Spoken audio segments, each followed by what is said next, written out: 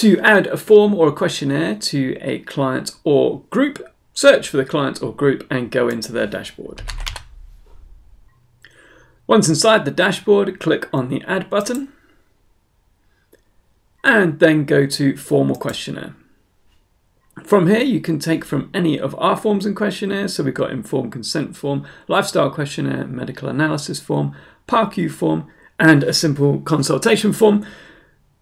You can also create your own custom forms and custom questionnaires, and these have all the features with the custom forms that you will find in something like Google Forms. So you can create your own for any client or any group.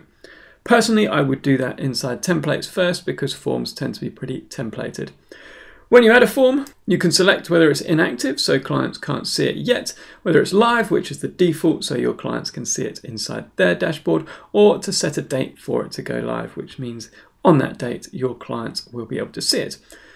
Save the form, and once you've saved it, it will allow you to add it to your client or your group schedule so you can put it into a calendar view for them.